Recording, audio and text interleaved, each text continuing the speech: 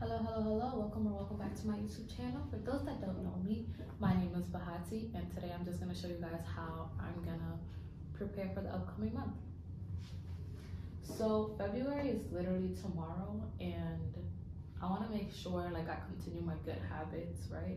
I wanna make sure I'm consistent and I wanna make sure I'm doing what I gotta do to kind of like reach my goal and kind of continue my um New Year's resolution.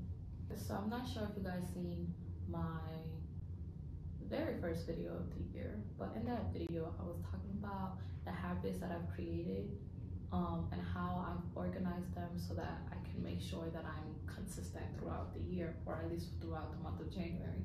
I'm just gonna continue that into this month and I'll show you guys kind of like how I did it when this loads.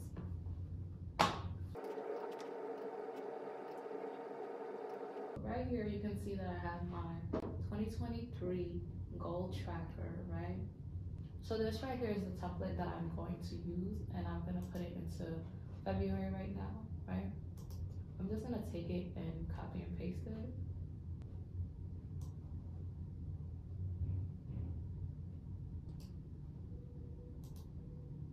So once it's pasted, you can see right here that it's in this sheet and you can see that they're identical all I want to do is go ahead and um, change this. And this template I got um, online. I cannot find the person I got it from. I can't find that video anywhere so that I can send it to you guys. But I could create a blank one if you guys want me to. Just comment down below and let me know. And then I will come back to this video and put it in the description. But I do not take credit for creating this. So I'm just gonna go ahead and change it up, change up the colors, just so that you can see the difference between this one and this one. I'm gonna write February right here. And for this, we're gonna go with, we're just gonna go with the next color in the,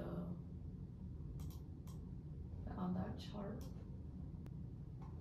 Just going in and putting the white back in to separate it. So far it's looking good so far it's looking good. I just have to clear all these checks because none of these have been done yet. So for this one, I already took out all the checks that were there. I made this about the same color as this, right? And then the, the boxes that you check are a little darker, so I don't have to worry about the background being a different color because the boxes are already standing out. The heading, I like to make it a little darker itself though. So I'll go with this color, something like that, see the similarities. And I'm just gonna take this, and to make my life easier, I'm just gonna copy and paste it instead of changing all of the colors. And then for the top part, instead of unchecking all these, I'm also gonna just copy and paste it. Okay, so I'm gonna take these four that I used and I'm gonna copy that gonna paste it here. And then I'm gonna take these eight, I'm gonna copy that, and paste it here. So this one only has four rows. So I'm only gonna take the first four, first four row this.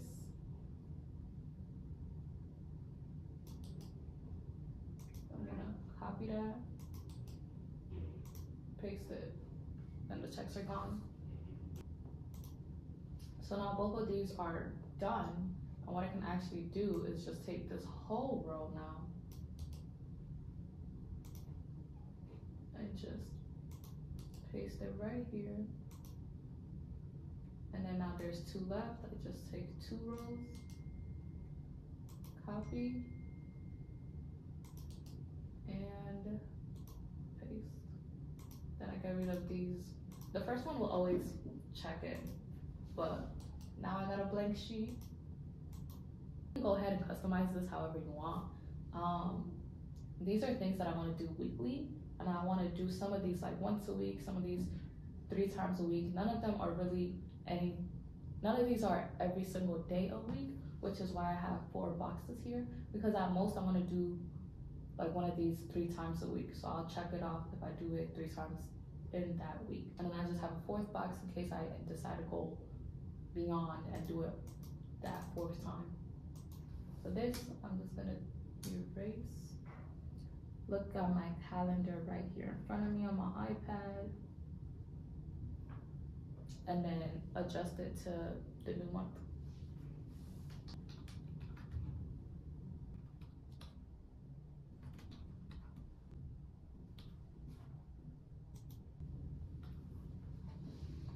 Okay, so that's done. And, and this is basically my new month. Everything is clear as you can see right here. All the tallies for how much I've done that week is clear and how much I've done that week is cleared. Let me just change my monthly color. We're done with the calendar. We're done with the habit tracker, I should say. The next thing I'm gonna do is I'm gonna go into my school calendar and I'm going to I'm going to look at this and where I see any where I see any assignments or any due dates, I will go ahead take that. I will go ahead and take my assignment due dates and I will put that into my Apple calendar. That way I'll see it on my iPad and on my phone because those are the calendars that I use. And I'm actually gonna go ahead and look at other classes because not every single class puts their due dates and homework assignments on Blackboard because not all my assignments are on Blackboard. So I'm gonna go back and look at my syllabus and write those due dates down and put them into my Apple calendar as well. Thank you. Right here in calendar. This is how my monthly calendar, this is not how my monthly calendar looks. I guess, I guess when you put it here, you don't see how it looks. This is how my monthly calendar looks on my iPad. I don't know if you can see it, but it actually has like people's birthdays, President's Day, Ash Wednesday, and all that. But on here, it's not showing it, but no worries, no worries. That just means you guys can't see whose birthdays are here. So I'm gonna go ahead and add right here, and I'm gonna just put new event. I'm gonna name it as my assignment. Sorry, I'm gonna name it as my assignment that's due, and then I'm gonna set it for two. I'm gonna set it for three hours before it's actually due, and I'm gonna set. I don't know if I can set a reminder. But I will set it a few hours in advance. That way, if I get notified too late or I'm like, I didn't remember and then my calendar tells me, I'll be notified, you know, three hours in advance and then I can do the assignment. I might just set it as all day event though, just so that I can see it from 12 a.m. to the end of the day. I'm gonna go ahead and split my screen just so that it's easier to see.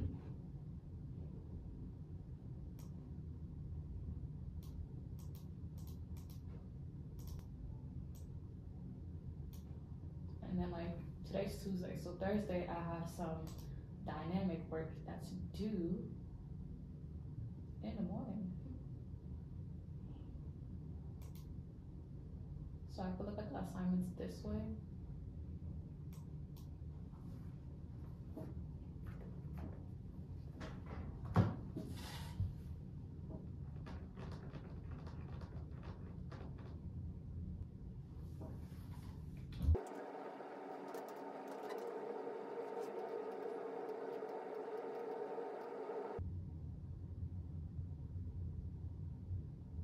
Since this one is due in the morning, I'm gonna actually set it up for tomorrow.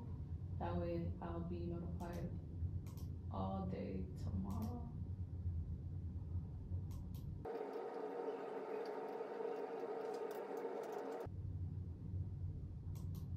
No repeating. So I've set the calendar up so that I'll be reminded all day tomorrow that, that this assignment is due. And I'm actually gonna put that it's due on the second.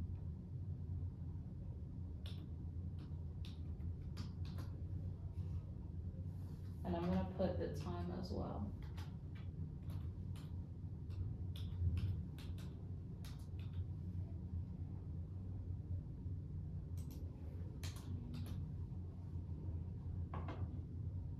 And I also put it in this color for home, just so that I know that it's homework and assignments that I gotta do.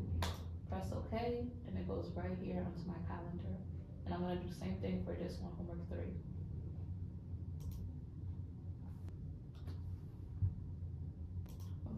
All day purple, the assignment, the assignment, the date, the time, homework, all day, okay, and that's added as well.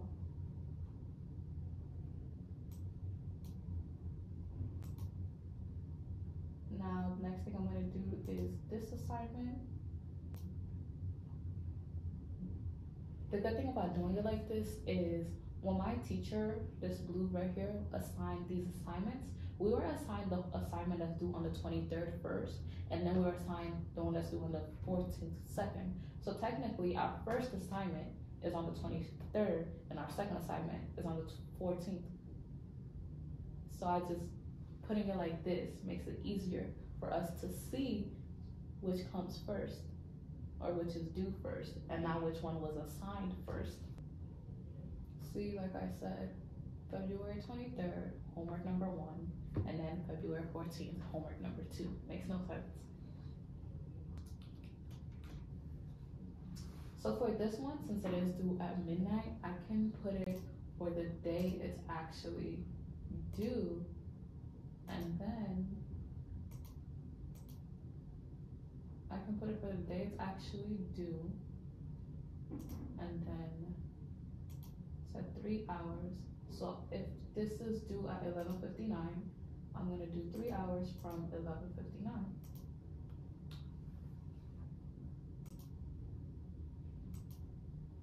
There we go. And there it is. Um, so this is how my February calendar looks so far. It is not complete. There are at least there are at least like three other classes that I haven't put in for the month of February. But I am gonna just show you like since this is all purple.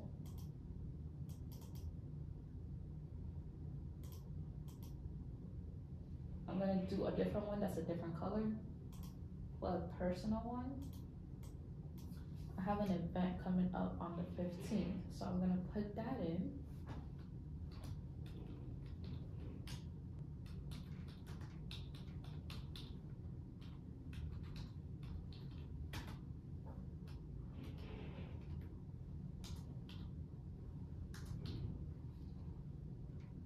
And then I'm just gonna go ahead and put it in yellow.